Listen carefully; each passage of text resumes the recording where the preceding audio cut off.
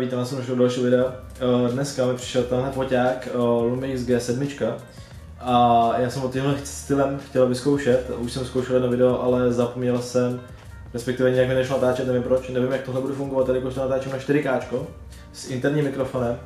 A to 4K nevím jak bude fungovat, jelikož eh, nevím přesně jak mám teďka rychlou kartu, ale ta 4K je potřeba nejspíš 100 MB za sekundu, nebo potřebuje zápis 100 MB za sekundu a to moje kamera, ta karta asi nezvládne, takže nevím, jak to bude vypadat, nevím, co to s tím udělá, vyzkouším to takhle. Ty záběry, co budou potom, budou asi ve Full HD 60 fps, aby jsem mohl třeba zpomalit, kdyby jsem chtěl, ale tenhle začátek bude ve 4K. Jak říkám, je to Lumix G7, dostal jsem, nebo respektive mám k tomu dva objektivy, jeden, což je 1442, myslím. Přesně jak říkám, je to 1442 a druhý je 28, myslím. Na focení asi nejspíš budu pořád používat tu, toho Nikona, o, tu 5100, co mám, jelikož ty jsem tam teďka kupoval, nebo nedávno jsem musel, musel, musel upravovat ten objektiv, tenhle, jelikož jsem pustil na zem a oprava stála přes 4000, takže asi by bylo zbytečně teďka, nevím, jestli ho budu prodávat, nebo ne, to zrcadlovka, přece jenom je to něco jiného. Takže o, jsou to dvě úplně kamery, tam to je zrcadlovka, tohle to je bezrcadlovka a chtěl jsem to vyzkoušet, jak funguje bezrcadlovka. Zatím se mi to líbí, hodně se mi líbí ten obraz z toho, Jediná věc, co mi na tom vadí, to je to, že ten obraz, nebo respektive ten monitor, s obrazem to nemá společného, ale ten uh, displej, co tam je, tak uh, je prostě kdy, klasický digitální displej. I uh, čuč, nebo i jakoby ten náhled, tak ten je digitální na tom foťáku, že? takže to je takový zvláštní. Takže na to musím zvyknout, ale foťák je hrozně kompaktní, je třeba o, nevím, tam ten, ten, tam zrcadlovka váží s tím objektivem třeba 3 kg. A tenhle může vážit kolik kilo? Půl kila možná. Nejsem si jistý, tady je za prvý hrozně ten foťák samotný je hrozně lehký, ale ten objektiv je plastový, takže ten taky lohoučky, to je extrémně lohoučký.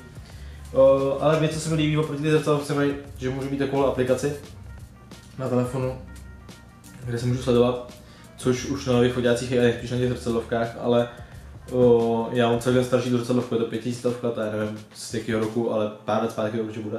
Takže tak, každopádně natočení je super, já ho budu, chci, chci používat i na webkameru, na stream, a na co se těším, akorát budu muset kupovat ještě pár věcí. Už jsem si objednal jednu věc, kterou je jakoby baterka, jmenuje se to Dummy Battery, tuším, nebo něco takového, což je baterka, já mám něco sam, samý uh, k té zrcadlovce. Můžu vám ukázat, jak to zhruba vypadá, má tady takhle jakoby adapter, jako baterku. Nevím, jak ty kamery zaostroje, sorry. Měl by mi to hlídat v obličej, ale to nevadí.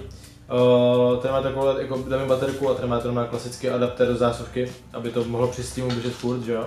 A teď si můžeme mrknout ještě na setup, protože uh, nevím, co vám, bych vám jiného ukázal. Můžu vám ukázat třeba nějaký timelapse z toho, protože ten foťák má zabudovaný zabudovaný timelapse nebo časozběr, uh, takový, tak já vám to můžu ukázat teďka, co jsem pár fotek udělal. Jak jsem říkal, něco nějak moc věcí se tady nezměnilo. Uh, počítač mám furt stejný, spodní počítač mám taky furt stejný. Plánuju uh, časem, fakt nevím kdy, nemám na to teďka peníze, kupovat jsem do toho Ryzena uh, trojkovou řadu, což by se hodilo, takže jsem do toho budu kupovat Ryzena a tu i7 budu dávat sem do toho streaming PC časem, teď na to fakt peníze nejsou. Uh, tady cable management furt stejný, by být pořád stejný. Klávesnice mám dost možná jinou, to je ta z té Číny, potom se točil video o té klávesnici. O, mechanická klávesnice dělá hrozný hluk. Přepínám. Mody. Samozřejmě tady máte můj Twitch, kdybyste nevěděli. Samozřejmě twitch.tv lomeno můžete se stavět, podívat. Budu jedině rád.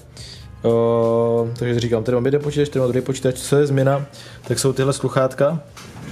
Já to trochu posvítím, tady tyhle sluchátka jsou to Razery. Razer na Nary něco, myslím, nebo Naby něco, no.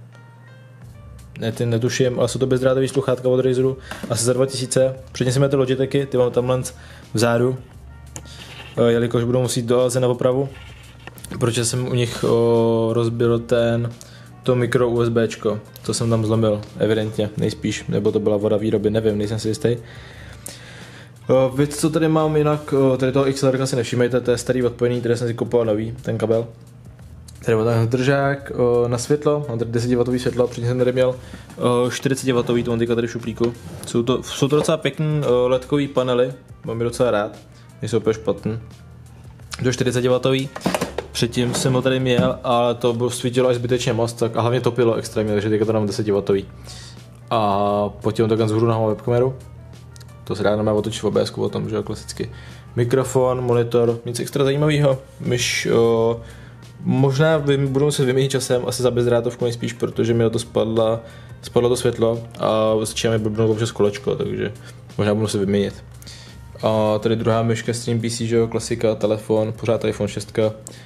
A co mám taky změnit, je taky wi Koupil jsem si gigovou wi jelikož ta stará mi nějak blbla, tak jsem si koupil aspoň teďka gigovou, jelikož mám gigový připojení, tak aspoň můžu nějak fungovat s tím líp. Je to super mít gigovou wi no. je to fakt paráda, doporučuji. To je tak všechno, jak jsem říkal, moc se tady toho nezměnilo. O, jo, jinak můžu vám ukázat takhle se rovnou, o, jestli víte, jak na stream jako předříkám, že mám o, na hovno stůl, tak tady vidíte přesně, jak je to promáčklý, jo. Ten stůl je absolutně te, z IKEA stůl, ten tady vidíte novej. O, ty kabinety jsou fajn, ty jsou super, ty jsou parádní, ale, nebo respektive ty skřínky, ale ta deska k tomu stolu, to je úplně na hovno.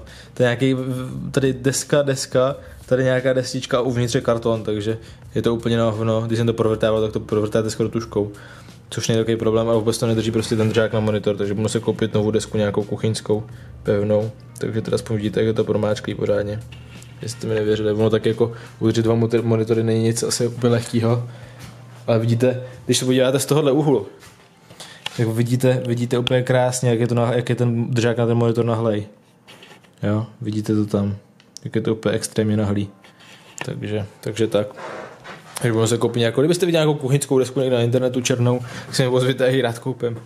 Tak jo, to je tak všechno pro tohle video. Jo, ještě jsem si takhle koupil ovladač na Xbox počítači, je úplně super, na třeba Rocket League je parádní, ale... A jak říkám, to je tak všechno pro tohle video, takže o, doufám, že se vám líbilo. O, já jsem to hlavně bral na to testování té kamery. Jak říkám, tohle je Full HD, protože nebylo ve 4K, tak to aspoň zkusit, jak to bude vypadat. Nebudu to video asi vydávat ve 4K, když mohl bych teoreticky, proč ne teoreticky, ono to má větší battery, takže bych možná mohl. O, každopádně mějte se hezky, uvidíme se u dalšího videa a děkuju vám a tak. Samozřejmě se můžete ptát v komentářích na nějaké věci, kdybyste chtěli a můžete video sdílet cokoliv. Dejte like, mějte hezky a čus.